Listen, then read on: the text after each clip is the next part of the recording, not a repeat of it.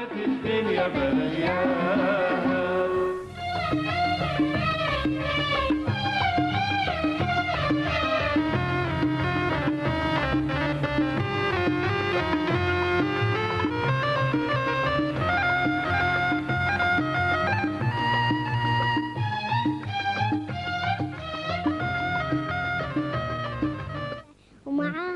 الحقيقة معاي طفلة صغيرة عندها نشيدة بتقولها للكويت. آه، شو اسمك حبيبتي؟ بشاير اسحاق الشيباني. انت بأي روضة؟ صقر قريش. آه، تقولين الحين النشيدة حبيبتي لحظة. خمسة ضيفتنا الشاعرة الصحفية الإعلامية بشاير الشيباني الناشطة في مواقع التواصل الاجتماعي. يا مرحبا فيك وكل عام وانت بخير. فيك حصة وانت بخير صحة وسلامة. نورتينا. حبيبتي مبارك عليك ما الله. تبقى من الشهر. علينا تقبل وعليك. الله طاعتك إن شاء الله. منورتنا حقيقة سعيدين بتواجد شاعرة جميلة كويتية تقدم النص الأدبي بحرفية متميزة ورائعة بشار الشيباني. حياك الله الله منورتنا يحييك. سلمك يا الله غالية يسلمك. تدري شنو أه، ما قطعك. تفضلي. تدري شنو بالحلو بالموضوع؟ إن إحنا قاعد نستمتع بالتواصل الاجتماعي من خلال الأشعار اللي قاعد تنزلينها. تخلين آه، يعني العطش اللي فينا يرتوي. صدق. آه، فتخلين الشباب الصغار يعشقون الشعر. فمن خلال هذه المواقع التواصل خد- خدمت وايد ال- الشاعرة أو الشاعرة بحيث انه يعني يتواصل مع جمهوره. بالضبط صح. رأيك بهالموضوع؟ صح بالضبط. يعني آه، مواق- مواقع التواصل الاجتماعي وال social media وايد سهلت لنا إن إحنا نوصل أحاسيسنا نوصل أفكارنا آه، من ناحية الشعر ومن ناحية وايد أشياء. يعني أصبح الفرد بسهولة ممكن إنه يصل آه، للمتابع ويصل لل- للقارئ ويصل لمحبينا يعني في كل مكان. نعم. رسالة أكيد جميلة تقدمها بشاير الشيبان للمتابعين والمتلقي عبر آه، وسائل التواصل الاجتماعي شنو سلبيات آه، التواصل الاجتماعي من خلال استخدامك لها؟ باعتقادي هو هو كل شيء بالحياة له سلبيات ولا إيجابيات والتواصل الاجتماعي يعني سلبياته يمكن أحيانا تكون بعدها أكثر من إيجابياتها، أنا نعم. باعتقادي آه، التواصل الاجتماعي خذ وايد من وقتنا. حلو. يعني أصبح يمكن آه، انشغلنا وايد. بال social media وبهذه الأمور، بس بنفس الوقت مثل ما قلت لك لا ايجابياته إن إحنا صرنا على تواصل مباشر مع متابعينا. آه، بين ال- آه، جوانب بشخصيتنا ما كانوا يعرفونها المتابعين. فهذا التواصل حلو وهم إحنا يعني ك ك- يعني إحنا كمشاهير نقدر نعرف شلون نتعامل مع ال social media ونخليه شيء سلبي لنا أو شيء إيجابي. طبعا بشاير الشيباني تخصصها علم النفس. إيش كثر فادك هالموضوع بال- بالشعر؟ هو علم نفس متعلق بالأحاسيس والمشاعر وهذه الأمور ال- ال- ال- اللي بالإنسان موجودة. ففي ارتباط ما بين الشعر وعلم النفس ارتباط كبير. يعني يا. نقدر نقول بشاير الشيبان من خلال تخصصها معرفة النفوس البشرية وقاعد توظفها في النصوص الأدبية ممكن؟ هو هو في. في بعض الأجزاء بلى. آه بس أنا أكتب يعني قبل التخصص. قبل يعني التخصص. بديت شاعره أو بديت كاتبة قبل أن اتخصص علم النفس. نعم. آه، فتحتي قناة على اليوتيوب. نتكلم عنها شوية. في بداية اليوتيوب يعني آه. كان لي قناة آه وفي هذه الوقت يعني بهذا الوقت كنت أنا مختفية تقريبا عن الإعلام. آه، وكانت القناة كنت أحط فيها قصايدي وبعض ال- المقاطع القديمة يعني آه، لي. لقاءات ذكريات الطفولة وبعد ما رجعت آه، مع ال social media بديت أحط فيها الأمسيات بعض التسجيلات للقصائد آه، وللأمانة يعني المتابعين هم اللي يلحون علي يعني أنا ترى مقلة بس هم اللي يلحون. إن سجلي لنا قصايد حطي لنا بالقناة وهذا فتلبية يعني لهم. زين تكرسين وقتك حقها يعني بحيث إنك تصورين أشعار أو شيء حق عشان تضيفينها حق ال- قناه اليوتيوب؟ أحيانا. مثل ما قلت مقله بس أحيانا قاعدة أحاول يعني قد ما أقدر ان وأنت اللي تقومين على إشراف هذا التصوير أي أو كل شيء. كل شيء أنا المخرج وأنا ما شاء ال- وأنا المصور وأنا كله حلو نبي نروح حق الأدب والشعر يعني دائما في في نصوص بشاير الشيباني على سبيل المثال الحصر يصادف القاك في شرودي في الموعد اللي ما نطرته على الكراسي الخالية في وسط مقهى أو كتاب أو كتاب أو في في مقطع أغنية. أو في شارع. ما أعرفه الله في وسط في نظره نظرة العشاق. صدفة. صدفة حلو دائما بشار الشيباني نعرفها إحنا عن قرب إنها شخصية ناجحة من جانب أسري في حياتها العملية. قاعد أشوف صورة ألم قاعد تطلع من نصوصها. هل هذا لمداعبة المتلقي أو ملامسة إحساسه؟ أم هذا لون بشار الش- الشيباني هو أنا أجد نفسي بهذه الكتابة. الكتابة المؤلمة. إي. وهي بالضبط هي يعني تلامس. تلامس المشاعر وتداعب الأحاسيس وممكن يعني القصيدة اللي يكون فيها ألم آه، تمس القلب أكثر يعني والقارئ ممكن يتأثر فيها. بس مو بالضرورة إن هي تمثلني أنا كإنسانة يعني.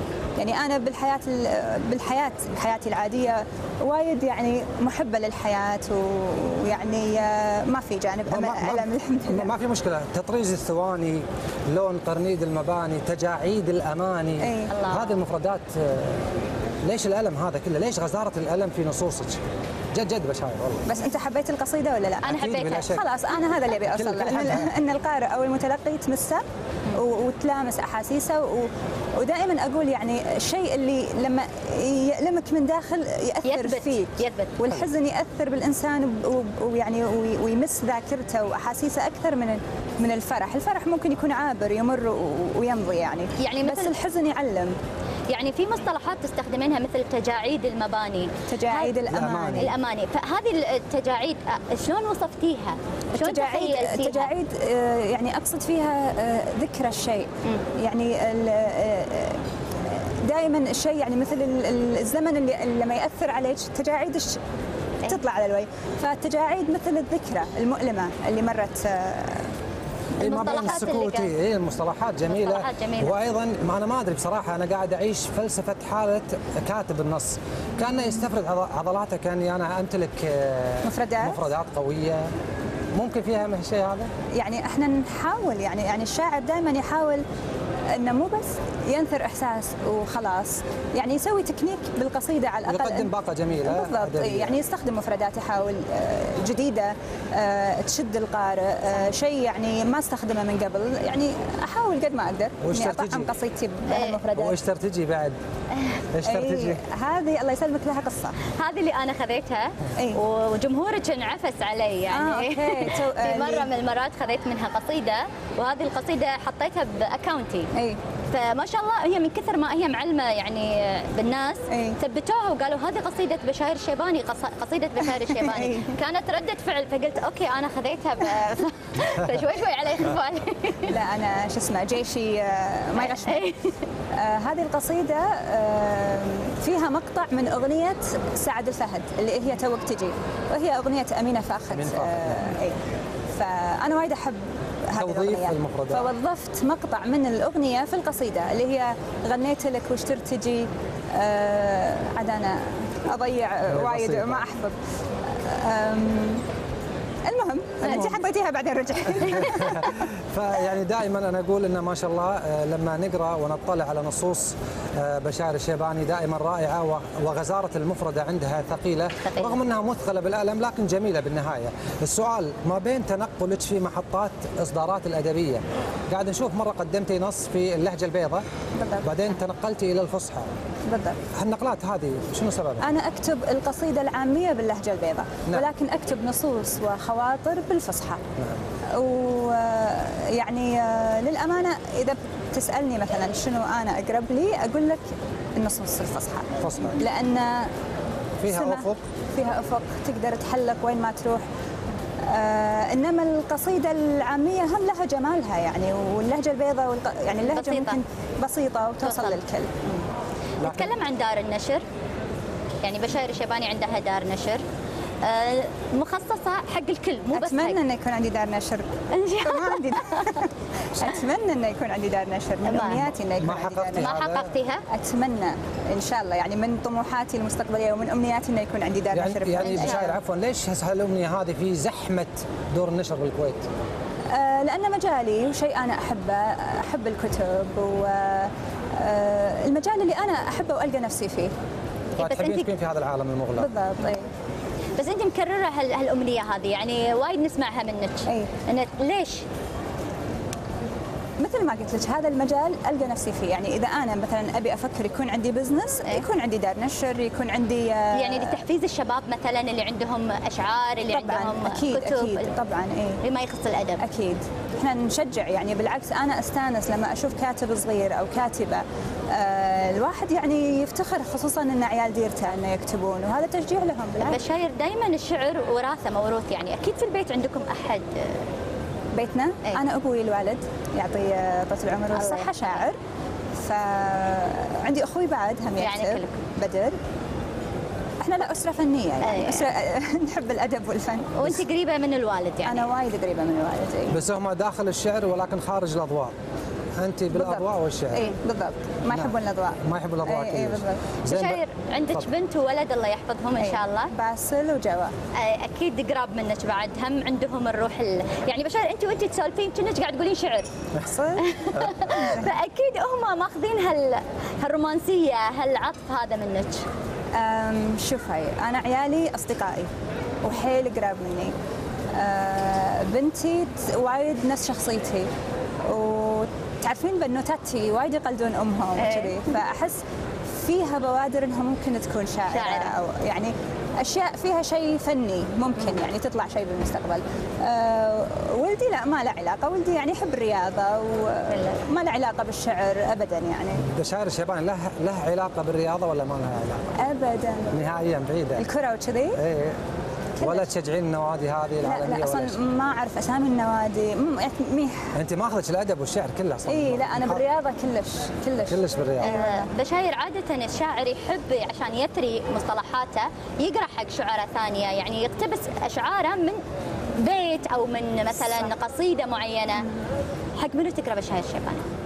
شوفي أنا القصيدة تأثر فيني أكثر من الكاتب أو الشاعر. يعني يعني القصيدة الحلوة اللي تمسني هي اللي ممكن تأثر فيني. يعني مو مهم ان الشاعر يكون معروف أو مشهور. بالضبط. يعني أحيانا ترى أقرأ أنا اقتباسات أو أو قصائد ما أدري منو كاتبها. بس آه، أحس إنها تأثر فيني وتمسني يعني. نعم. آه، بشار الشيباني معروفة أنت من آه، مدرسة الحداثة بالشعر. بالضبط.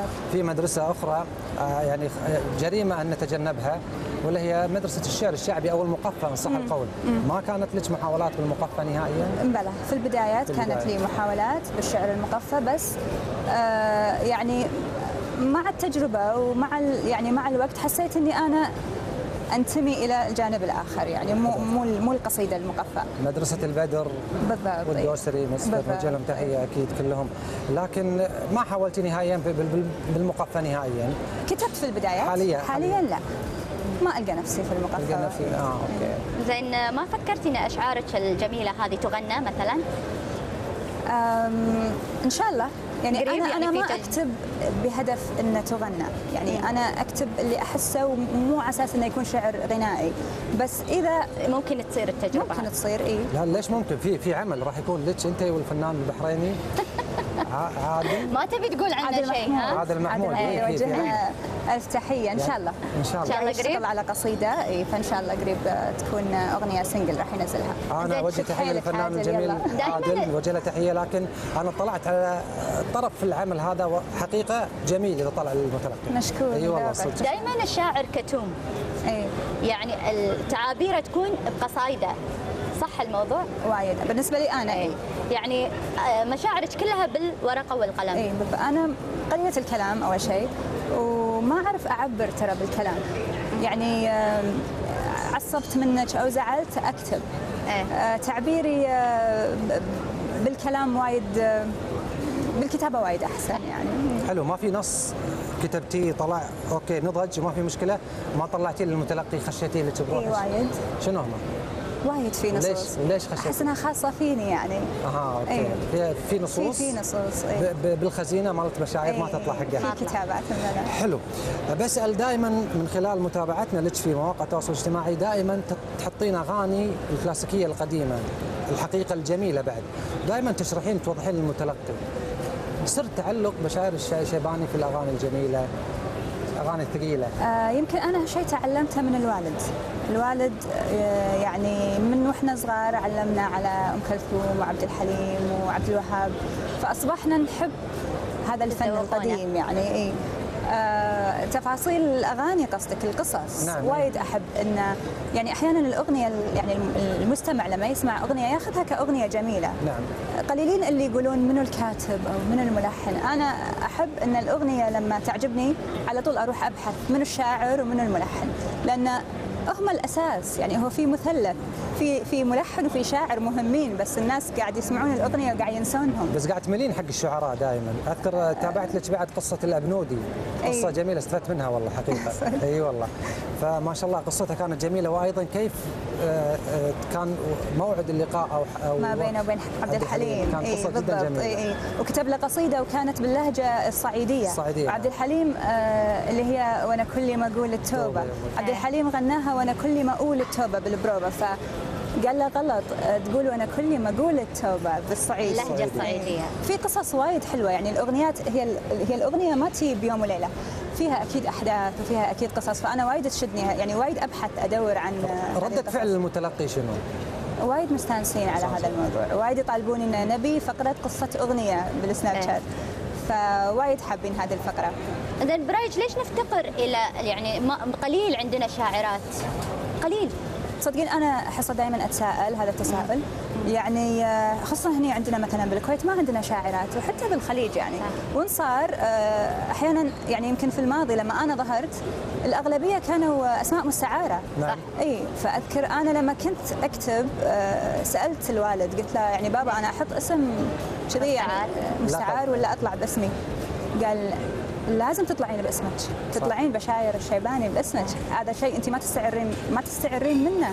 لأن الأدب والفن بالنهاية شيء جميل والمشاعر شيء يعني شيء جياش بالضبط. آه، فهذا اللي صار فأنا أستغرب ليش ما في يعني عندنا شاعرات. شاعرات أو عندنا حاليا كاتبات يعني ممكن كاتبات. إيه. هل هل هو قص- قصور من جنس حواء ولا أجحاف من آدم؟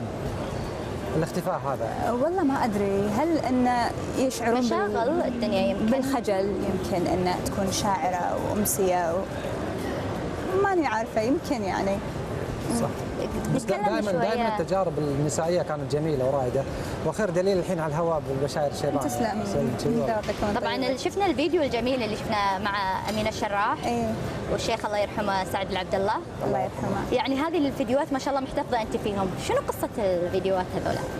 قصة آم، الشيخ سعد العبد الله الله يرحمه كان آه، راد من رحلة علاج من لندن. فكانوا جايين المهنئين يهنئونه وكذا يتحمدوا له بالسلامة وأنا كنت بالصدفة قاعدة مع أمي وقاعد نشوف تلفزيون فلمحت أبوي بين المهنئين فقعدت اتساءل ليش ما أخذني معاه يعني على أنه ما كان في أطفال لما رجع على طول ناطرته كنت عند الباب قلت عشان تقولي له ليش ما قلت أخذتني؟ له ليش أنت رحت وما أخذتني معاك؟ قال لي ما يصير لأنه ما في أطفال أخذك معي شو تسوين؟ قلت له أخذني معاك أنا بقول حق بابا سعد قصيدة أنا طلبت. فقال لي تبي تقولين قصيدة؟ okay أكتب لك قصيدة. فأمي يعني استغربت قالت له من صدقك يعني تطيعها أخاف تفشلك على الهواء أو كذي. كان يقول لها بشاير عمرها ما تفشلني ولا توهقني. وهالكلمه ترن بإذني يعني لليوم. وفعلا كتب لي القصيدة حصة وحفظني إياها بالسياره يعني ثاني يوم وإحنا رايحين بالطريق هو قاعد يحفظني. آه تقول القصيدة لليوم أنا حافظتها تقول؟ سلامتك يا بابا سعد وبجيتك قلبي سعد وعسى المرض ما يجيك بعد. وسلامتك يا بابا سعد. الكويت اليوم فرحتها كبيرة ومعاها فرحة أهل الديرة. تستاهل يا أبو فهد تستاهل يا ولي العهد. ونحمد الله يوم جابك لنا وكمل فرحنا بعيد استقلالنا. الله. فبالسيارة حفظني القصيدة وفعلا حفظتها. بالسيارة ودخلنا القصر. ما بلغ أحد أن أنا بقول شعر. داشين شي بهدوء أن نسلم. ولما وصلنا عند الشيخ سعد ألف رحمة عليه قال لي يلا قولي. فكان في مصورين قربوا والتقطوا اللحظات هذه يعني صوروها وثقوها ف كلهم استغربوا ان هذه الطفلة شلون كذي؟ جاية وكاشخه بالنفنو وكانت لحظات حلوة يعني. طبعا أمينة الشراح الإعلامية القديرة هم كان لها كلمة وكان يعطيها لك طولة العمر والصحة إي. نتكلم عن أمينة الشراح كلمتها إيش كثر آه، أثرت فيك؟ طبعا هم هذه الفيديوهات يعني اليوم جدا أفتخر فيها لما أشاهدها. وهم كانت لحظات حلوة وذكريات يعني جدا جميلة. أذكر تفاصيل يعني لما قبل لا نطلع على الهواء كنت أسولف معاها كانت تسوي شعري. فيعني في عرفتي ملامح كذي أتذكرها. وكانت مناسبة آه، استقلال الكويت وطلعت معاها بلقاء ثاني هم كان مؤتمر القمة الإسلامي بال 87 آه، ما شاء الله فمثل ما قلت لك الحمد لله أن عندي تسجيلات يعني محتفظة فيها لليوم إيه. الحمد لله أكيد. آه، لكن السؤال لما كنت صغيرة مع الوالدة اسال الله يحفظها كان في شغف لك بالظهور ل- لدرجة أن نطرتي الوالد لما يرد قلت له ليش ما خذيتني وياك أنا بقول لك قصيدة إي بالضبط. الحين لما بشار الشيباني بعد الخبرة هذه والنضج والاختفاء نوعا ما رديت الحين بعد الحين عندك تخوف أو تحسس من اللقاءات الإعلامية ليش؟ إيه، أنا تردد يوم كنت طفلة كنت أحب اللقاءات أكثر لما كبرت ما أدري إيش ترى فيني هالسؤال وراه وراه كمين. لا لا إن شاء الله لا لا آه، إي والله كنت أحب الكاميرا والحين أخاف منها أحس حسيت إن لمست قبل؟ الهواء في تردد ليش تخافين منها؟ مثل ما قلت لك، يمكن لأني أنا قليلة الكلام. اي ف يعني نادوني أقول قصايد أمسيات ما عندي مشكلة بس لقاءات وأسولف وهذا أحس يعني تسحبون الكلام مني. حلو. نبي أقرب صديقة لبشار الشيباني غير زميلتنا سارة مطوع نوجه لها تحية. غير. خلي سارة عليك غير سارة لأن أنت مقلة في في الصداقات. اي بالضبط. أنا عندي خبر. يعني أنا عندي معارف كثير كثيرة. لكن بس الاصدقاء صداقاتي جدا قليلة. حلو. جدا قليلة. يعني أنا حذرة وايد مع الناس ومو بسرعة أرتاح يعني للأشخاص أو إني آه يعني يعني مو بسرعة أكون صداقات. حلو. في أشخاص معينين أنا ممكن أندمج معاهم مو الكل. ما, ما في اسم ببالك الحين غير سارة المطوع لأن نشوف سارة دائما حبيبتي. نوجه لها تحية زميلتنا يعني سارة. دائما الشاعر يحب لما يكتب قصيدة يستشير أحد. أي. بشاير منو تستشير؟ بالشعر آه، أحب أقرأ حق الوالدة الوالدة جدا متذوقة ف تقول لك. إي يعني ناقدة أحب انتقاداتها لأن ما جاملني وفعلا يعني هذا كذي هذا كذي فدائما أقرأ لها يعني قصايد أحرص إني أقرأ لها زين ممكن تشطبين؟ إذا يعني مثلا قالت لك هذا البيت مو حلو أو أعدل، يعني إيه. قناعاتك إيه. في البيت ممكن تعدل ممكن. ممكن إيه،. ممكن. زين شنو إحساسك وانت تقرين القصايد القديمة؟ يعني قصايدي؟ يعني أكيد لأن إيه، إيه، الإنسان كل فترة ينضج فيحس إنه هو بهالمرحلة يتذكر أمور يحس إن أنا وين كنت أحس إني الحين صرت أحسن يعني تحسين بين فترة فتره الإنسان يكبر وينضج وحتى يعني قراءاته تصير غير وكتاباته تنضج مع يعني آه، يتغير الإنسان مع الوقت ممكن الشاعر يستعين بقصيدة قديمة ويطورها ويغيرها؟ اي ممكن, ممكن. صار معك هالموضوع؟ ممكن إيه يعني في مثلا عندي قصايد أنا كنت كاتبة مقطع منها وتكون يكون المقطع جدا جميل وأهملته وما أدري عنه فلما ألعب بأوراقي وأدور وهذا ألقى هالمقطع أصلا أكون ناسية أنا متى كاتبته عادي ممكن أكمل عليه وتطلع قصيدة حلوة. هذه الأوراق اللي قاعد تلعبين فيها يبيلي أنا اجيك البيت وألعب فيها وياك أنا بنتقل إلى إصداراتك الأدبية. لك ثلاث إصدارات. أي نعم. بعن- بعنوان شنو بالضبط؟ كونشيرتو غياب ديوان شعر وحديث الغيم نصوص بالفصحى وأكتب لأن الكلمة هواء كذلك نصوص بالفصحى. كان لك رواية سمعت لك رواية ولا؟ قاعد أكتب حاليا روايه متى إن شاء الله نشوفها؟ أتمنى إن شاء الله إني أخلصها على معرض الكتاب. إن شاء الله. أنا في- أنا في- وايد كسوله بس أتمنى. في زحمة آه، ان صح القول بشاير الشيباني قادره أن تأخذ وقت وتكتب؟ مو هذا هو. هذا. آه، زحمة ال social media يعني أكون مندمجه وقاعد أكتب تلقى مثلا message يجي لك خلاص الأفكار كلها راحت وتشتتت فلازم كل شيء سايلنت يمك صح وتقعد. والرواية بحر يعني ممكن الواحد لما يكتب رواية يعني يمدها أي. ي- يقعد يلعب فيها يلعب بالأحداث بالضبط اي فهذا- لازم تركيز إيه. قصه يعني الرواية مو قصيدة أو مثلا خاطرة الرواية يعني فيها أحداث وفيها شخصيات. لازم أنا أقول تحتاج عزلة يعني أسافر وانعزل عن العالم واكتب أكيد تسافرين غير لندن وباريس ولا لازم لندن وباريس والله كان زين باريس لأن لأن الرواية أحداثها فيها في باريس؟ إيه. يعطيك العافية بالشاعره الله الجميله. بشاير الله ينورتينا شرفتينا. اليوم في غبقة الله الحمراء يسلمك أنا. جدا سعيدة أن هذا ثاني لقاء لي بتلفزيون الكويت الله. هذا شيء جدا جدا يسعدني ومشكورين على هذا اللقاء يعطيك العافية الله بشاير. ونتمنى لك كل التميز والتفوق وأنت نجمة ومنورتنا اليوم حبيبتي مشكورة مشاهدينا ننتقل مثل ما عودناكم إلى فقرتنا اليومية آه، إلى ديوان محامي علي العلي. نشوفه وراجع لكم بعد هذا الفاصل.